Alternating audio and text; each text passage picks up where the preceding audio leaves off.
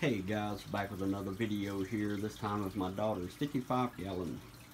It's her um, shark tank. see, there's her albino rainbow tank. A shark, my bad. And a regular rainbow shark. And as you can see, her tank is green.